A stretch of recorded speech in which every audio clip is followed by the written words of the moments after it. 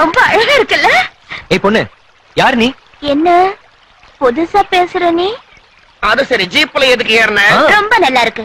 அவர் ஏற சொன்னதுனால ஏறினேன். தூக்கம் வந்துருச்சு. பாட்டு காதுல விழுந்து எழுந்த சுதி ரொம்ப நல்லா இருக்குன்னு சேர்ந்து பாடின பஜ கோவிந்தம் தாண்டா இவர் பேர் பஜகோவிந்தா இல்ல விஜய். ஆ. சும்மாரு எனக்கு இஷ்டமான பேர்ல கூப்பிடுறதா அவருக்கு இஷ்டமே? எனக்கு நிறைய தடவை சொன்னாரே. ஏய் என்ன வளர்ற உன்ன நான் ஜீப்ல ஏற சொன்னேன்? அதென்ன? எதுவும் தெரியாதாட்டும்? எதுவும் நடக்காதாட்டும்? என்ன இதுக்கு முந்தி எப்பவும் பார்க்காததாட்டும் பேசுறியே? மணமேடையில இருந்து எழுப்பி என்ன தள்ளிக்கிட்டு வரல நீ? ஒண்ணு நான் மணமேடையில இருந்து தள்ளிட்டு வந்தேனா இவரை தள்ளிட்டு போறதுக்கு லட்சம் பொண்ணுங்க கியூல நிக்குதுங்க. இவர் என்ன தள்ளிக்கிட்டு வராது போனாலும் வெறுமனை இவரை விட்டுட்டு அந்த இஷ்டம் இல்லாத கல்யாணத்தை செஞ்சுக்க மாட்டானா? மனசுக்கு பிடிச்சவனோட நடக்கிறதாம் கல்யாணம். உன் காதலை என் கழுத்துல மூணு முடிச்சா போடு. ஏழு ஜென்மத்தை ஏழு அடிகளாக்கி வாழ்க்கையெல்லாம் உன் பின்னால நடக்கிற நாராயணா. சாவுனாலும் வாழ்வுனாலும் ம். உன்னோடதான். டேய் இந்த பொண்ணு ஏதோ பைத்தியக்கார ஆஸ்பத்திரில இருந்து தப்பிச்சிட்டு வந்த போல இருக்குடா. மெதுவா பக்குவமா பேசி இதை தள்ளிட்டு போய் பைத்தியக்கார ஹாஸ்பிட்டல் போட்டுலாம் இல்லாட்டி நம்ம கழுத்துல சுத்தினாலும் சுத்திக்கோ. இல்ல? எங்க? எங்கடா? பைத்தியம் எங்கதான் இருந்துச்சு. எங்க போயிடுச்சு? என்ன சின்ன பஸ் இங்கதான் இருந்துச்சு காணுது பாஸ் கப்பு. ஐயோ கப்பு எங்க? இது பைத்தியம் இல்ல. கப்பு திருடு. கப்பு? கப்பு போனா போட்டோம். வா போலாம். போனா போட்டோம். எனக்கு என்ன?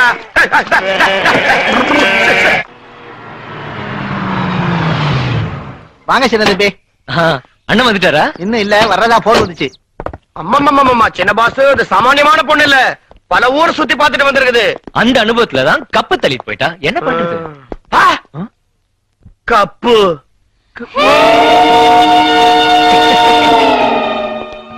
நம்ம கப்பு தான்டா. நம்மள்டா இங்க எப்படி வந்துச்சு? ரெக்க முளைச்சு பறந்து வந்துடுச்சு.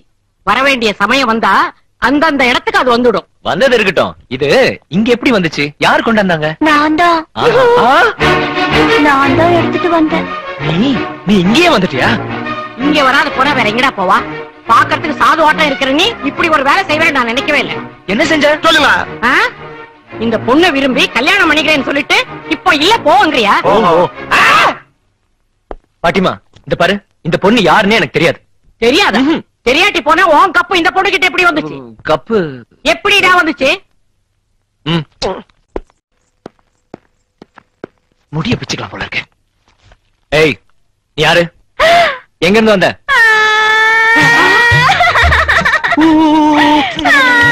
என்னாச்சுமா இவர் ஷாஜஹான் நம்பி தாஜ்மஹால் கிட்ட இவர் கேட்டதை கொடுத்ததுக்கு எனக்கு இந்த தண்டனை வேண்டியதுதான் நான் வாழ மாட்டேன். மேல விழுந்து செத்து போறேன். மேல இங்க வராது. வாய் முடு. உனக்கு எவ்வளவு பணம் தேவையோ அவ்வளவு பணம் தர இங்க இருந்து வெளியே. டேய் நீ எந்த ஆட்டம் வேணாலும் ஆடு. ஆனா ஒரு பொண்ணு கிட்ட இந்த மாதிரி விளையாட சும்மா இருக்க மாட்டேன். இவன் என்ன நாளைக்கு காலையில டெல்லியில இருந்து வர போறான் அவனுக்கு தெரிஞ்சா கொன்னு போடுவான்.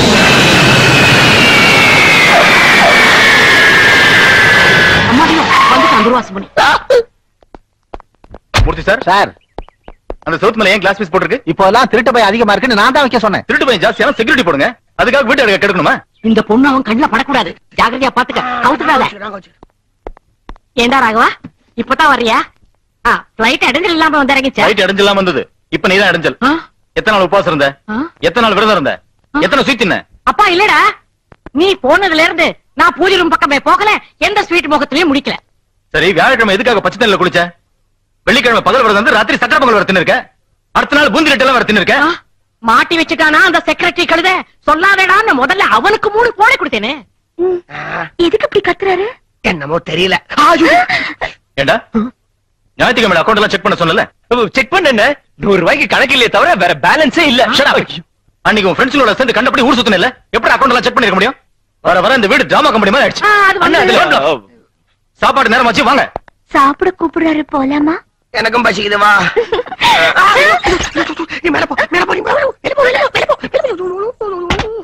Murthy sir sir.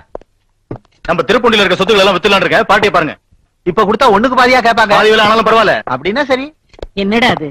அது நம்ம பெரியவங்களும் நானும் பிறந்த ஊருடா. தங்கை நாடார் பிறந்து செத்த ஊர் கூட தானே எதுக்குடா போனவங்கள பத்தி அப்படி பேசுற? சே சுமாரு.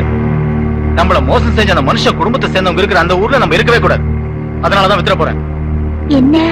அந்த ஊர்ல அப்படி வெறுக்கிறாரு அவரு? திருப்பூண்டி தங்கையா நாடார் குடும்பத்துக்கும் இவங்களுக்கும் ஆஸ்தி தகராறு கேஸ் இருக்குது. தங்கையா நாடார் இவங்க அப்பாவை மோசம் செஞ்சுட்டாருன்னு ரெண்டு குடும்பத்துக்கும் உறவு விட்டு போச்சு. இந்த கதையெல்லாம் உனக்கு எதுக்கு? எனக்கும் அந்த ஊருக்கும் ஒரு சின்ன தகராறு இருக்கே. அப்பா இது எப்படிடா விடுறது இப்போ? அட்டை மாதிரி ஒட்டிக்கிச்சே. சின்ன பாஸ் எனக்கு ஒரு டவுட் வருது. ஒருவேளை நிஜமாவே நீ இந்த பொண்ண லவ் பண்ணிட்ட? சும்மா சொன்ன விடுங்கய்யா. அந்த பொண்ணு பாட்டிமா பக்கத்துல தான் படுக்கும். இன்னும் கொஞ்ச நேரத்துல நல்லா தூங்கிடும். நாம போய் கையும் காலி கட்டி நைட்டு குச்சி வண்டியில போட்டுட்டா சென்னைக்கு போய் வியாபாரம் செஞ்சுக்கோ அதனாலதான் இந்த வீட்ல இருக்கிற வரைக்கும் படுத்து தூங்குறது இல்லைன்னு முடிவு பண்ணிருக்கேன்டா பப்பரவாய் பறங்கி காட்டாலையா ஏய் இந்த நேரத்துல நீ இங்க என்ன செய்யற அத சொல்ல முதல்ல பாருங்க இப்ப நீங்க என்ன பத்தி என்ன சொன்னாலும் நம்பவே மாட்டாங்க இப்பவே போய் உங்க அண்ணனை எழுப்பி நம்ம விஷயத்த சொல்லட்டுமா சொல்லட்டேம்மா என்ன சொல்ல போற!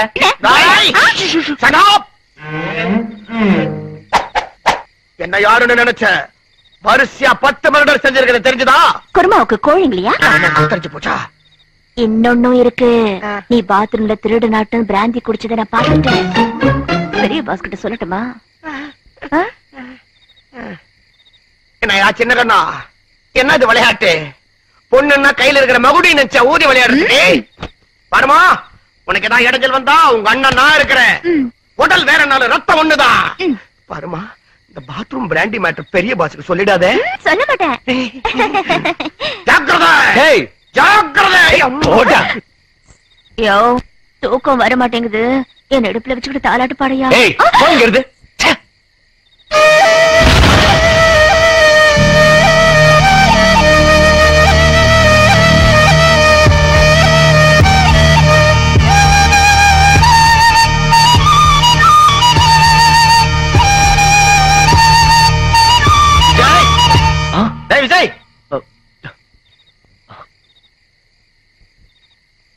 அப்பா என்னடா இது நடுராத்திரியில கூத்து. அது ஆ, அது ஒண்ணுமில்ல புது டியூன். சிக்கன் டம் ஸ்ட்ரிக் சீ, வாய் மூடு. போய் படுத்துக்க. என்னங்க? ஹிட்லர் போயிட்டாரா? போய்கிட்டே இருக்கேன். ஹிட்லர்? இன்னும் போக. ஆ? இந்த பொண்ணு யாரு? பெரியவன் கேக்குறான் இப்பவாவது உண்மையை சொல்லேன்டா அது வந்து நீ பேசாத பல்ல உடைச்சுடுவேன். டேய் எதுக்கு அந்த பொண்ணை மிரட்டுற? இதுக்கு முந்தி லவ் பண்ணிட்டு இப்ப இல்லங்கறியா? நாங்க எதாவது நினைச்சு போனா இல்லாட்டி போனா மூத்த நான் இருக்கும்போது எனக்கு முன்னாடி உனக்கு கல்யாணம் நான் வருத்தப்படுவேன்னு நினைக்கிறியா? இல்ல என்ன இதெல்லாம் போய் டிராமா உண்மைதாங்க. இந்த கொள்ளுவா பிசாசத்துக்கு முந்தி பார்த்தது இல்ல நீ என்ன ஜாலராவா? உன் பேச்சுதான் என் பேச்ச கேட்க மாட்டேன். என்னடா கேக்குறது? நான் அப்ப சொன்னதெல்லாம் போய். நான் அவரை எப்பவும் பார்த்ததில்ல. கதி இல்லாம உங்க தம்பிய பயன்படுத்திக்கிட்டு இந்த வீட்டுக்கு வந்த எங்க ஊர் திருப்பூண்டி. திருப்பூண்டியா ஆமா. எங்க சித்தப்பாவும் சித்தியும் பலவந்தமா என் ஆஸ்தி எல்லாம் எழுதி வாங்கிக்கிட்டு என்னை எழுபது வயசு பெரியவருக்கு கல்யாணம் பண்ண திட்டம் போட்டாங்க. அதனாலதான் தப்பி ஓடி வந்துட்டேன். அது சரி எங்க வீட்டுக்கு எதுக்கு வந்த? சித்தப்பாவுக்கு அந்த ஊர்ல தங்கைய நாடார் ஆளுங்க பலம் இருக்கு. அதனால அவங்க எல்லாரும் சேர்ந்து என்னை எப்படியாவது பிடிச்சு பாவி சித்திக்கிட்ட ஒப்படைச்சு அந்த பெரியவருக்கு என்ன கல்யாணம் பண்ண நினைக்கிறாங்க. அந்த ஊர்ல அவங்கள எதுக்க கூடியது நீங்க தானே தெரிஞ்சு கடைசி ஆசையோட உங்ககிட்ட ஓடி வந்தேன். அந்த தங்கையா செத்ததுக்கு அப்புறமும் அவரோட ஆளுங்களுக்கு கொழுப்பு இன்னும் அடங்கல போல் இருக்கு. அப்பாக்கு செஞ்ச அநியாயத்துக்கு அவங்களுக்கு எப்படி புத்தி கற்பிக்கிறதுன்னு யோசிச்சுட்டே இருந்தேன். இப்ப உன்னால அவங்க கிடைச்சாங்க.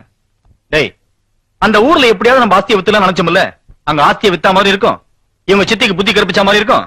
அந்த தங்கை ஆளுங்களோட கொழுப்பு அடக்கின மாதிரி இருக்கும். பாட்டிமா? நாளைக்கே திருப்பண்டி போறோம்.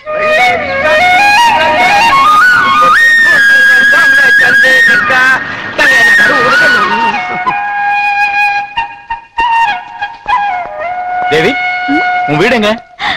அ- அது வந்து அந்த மரத்தை தாண்டி மூலையில திரும்பினா அந்த புளிய மரம் இருக்கிற தோப்பு கிட்ட ஒரு குளம் இருக்கு. அந்த குளத்து பக்கத்துல சரி சரி விஜய் நீ இந்த பொண்ணோட போய் அங்க அந்த வீடு எங்க இருக்கு? என்ன தகராறு? அந்த ஆளுங்க எல்லாம் யாரும் எல்லாத்தையும் தெரிஞ்சுட்டு அங்க இருந்து நேரா நம்ம கெஸ்ட் ஹவுஸ்க்கு வந்துரு.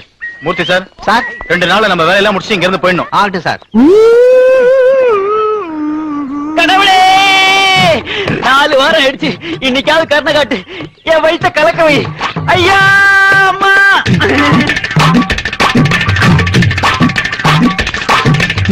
ஐயோ ஐயோ அம்மா உன் ஒப்பாரி இருக்கட்டும். எங்க இருக்குது உன் மூணு மாடி பில்டிங் இதோ இங்கேதான் நாங்க என்ன காதுல பூசிட்டு இருக்கோம் நினைச்சிட்டு? நீ? இந்த காலி இடத்து கத்துத்தோ இருக்குது மூணு மாடி பில்டிங்ன்ற ஐயோ இங்கேதான் ஏன் மூணு அடுக்கு மாளிகை? அதுக்கு பின்னால பெரிய போட்டாட்டம் மறைஞ்சு போச்சு. மறைஞ்சு என் தங்கச்சி மேல கைய வைக்காத தப்பு. நான் கேட்டுக்கிறேன் நான் கேட்டுக்கிறேன். நானும் கேட்டுக்கிறேன். அது பாரு. அங்க ஒரு பெரியவர் புள்ள போடிக்கிட்டு இருக்காரு. நான் அவர்கிட்ட போய் முழு விவரத்தையும் தெரிஞ்சுக்கிட்டு வரேன். வெந்நீர் அணிந்ததென்ன என்ன என்ன? வேலை பிடித்ததென்ன தாத்தா. இங்க ஒரு மூணடுக்கு மாளிகை இருக்கிறதா ஒருத்தர் சொன்னாங்க. அது இங்க இருக்கா? மாளிகை நான் பார்த்தது இல்லையே. நான் இங்கேயே இருபது வருஷங்களா தினமும் இந்த வேலையை செஞ்சுக்கிட்டு இருக்கேன். இருபது வருஷங்களா? தினமும் மூணு பொழுதும். மூணு பொழுதா? நான் தினமும் முயற்சி செஞ்சுட்டு தான் இருக்கேன். அந்த கடவுள் கருணை காட்டும் போது கருணை காட்டுவார். பா இந்த மாளிகை இங்க இருக்குதா சொல்லு தாத்தா. இங்க மாளிகையும் கிடையாது மாட்டு சாணியும் கிடையாது? முக்காலா முக்காலா. ஓ பிரபு நீ எந்த நட்சத்திரத்துல பிறந்தியோ எனக்கு தெரியாது. உன் முகத்தை பார்த்ததோ என் அடிவயிறு கலங்கி கலக்கி விட்டுடுச்சு. கலக்கி விட்டுடுச்சா? கலக்கிற அளவுக்கு என்ன வேலை. இந்த கக்கூசுக்கு பிறந்தவன இருபது வருஷமா இதான் வேலையா உனக்கு?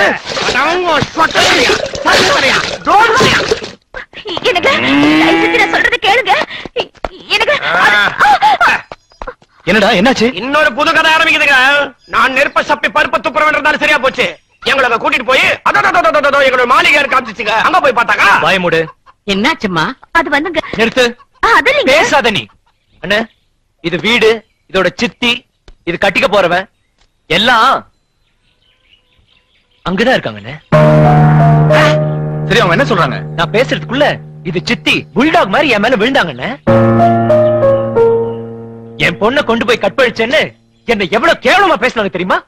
ஏன் கண்ணு முன்னாலே தேவி அடிச்சு அந்த கேவனுக்கு ரெண்டாம் தாரமா வாழ்க்கைப்படுன்னு சொன்னாங்க நீ சும்மாவா இருந்த? சும்மா இல்ல பாட்டிமா.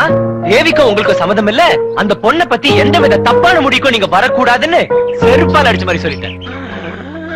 தடுக்க வந்த அந்த தங்கைய நாடார் ஆளுங்களை ஊர் எல்லா வரைக்கும் அடிச்சு விரட்டிட்டு தேவி என்னோட கூட்டிட்டு வந்தேன். பிரமாத வேலை செஞ்ச பிரமாதம் இருக்கட்டும். இந்த பொண்ணு எங்க தங்குறது? எப்படி வாழுறது? இதுக்கெல்லாம் யார் என்ன செய்யறது? என்ன செய்யறதோ இதுக்கு என்ன வழி காமிக்கிறதோ அண்ணன் தம்பி ரெண்டு பேரும் யோசிச்சுக்குங்க. அது வரைக்கும் தேவி என்கிட்டயே இருக்கட்டும். நீ வாம்மா வா. ஏண்டா இப்ப இந்த பொண்ணு விஷயமா ஏதாவது யோசிச்சியா? அந்த பொண்ணு விஷயம் இப்ப இது வரைக்கும் தான் யோசிச்சேன். ஆ? என் பொய்ய உண்மைன்னு எதுக்காக சொன்னேன்னு? என்ன யோசிச்சாலும் எனக்கு விளங்கல குப்புசாமி. பாரு குப்பம்மா உன் பேச்சு பொய்யா இருக்கலாம் உன் செயல் மோசமாவே இருக்கலாம். ஆனா ஒரு பொண்ணு தனியா இங்க வந்து இவ்வளவு துணிச்சலோட பேசிட்டு இருக்கான்னா அவளுக்கு பின்னால ஏதோ கஷ்டங்கள் இருக்கு பிரச்சனைகள் இருக்குன்னு எனக்கு புரிஞ்சிருச்சு. அதுக்காக எங்க அண்ணன் முன்னால உன்னை சமாளிச்சேன். ஆனா எனக்கு ஒண்ணு தெரியணும். நீ எங்க வீட்டுக்கு எதுக்கு வந்த? எங்க மத்தியில இந்த நாடகம் எதுக்கு ஆடுற? உங்க மத்தியில இருக்கணுங்கிறதுனால. என் பிரச்சனை உங்க வீட்டோட சம்பந்தப்பட்டதுனால. நான் உங்க வீட்டுக்கு வந்தேன். எப்பவாவது உண்மை சொல்ல வேண்டி வந்தா அத முதல்ல உங்ககிட்ட தான் சொல்லுவேன். அப்படின்னா நீ என்ன சரியா புரிஞ்சுக்கிட்டவனா இருந்தா நான் சொல்ற வரைக்கும் என்ன பத்தி நீ எதுவும் கேட்க கூடாது? சரி.